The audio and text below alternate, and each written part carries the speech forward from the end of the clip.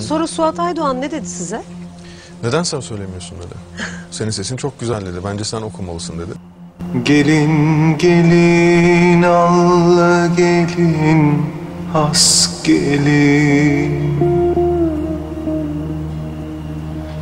Ak elimde ben olayım tas gelin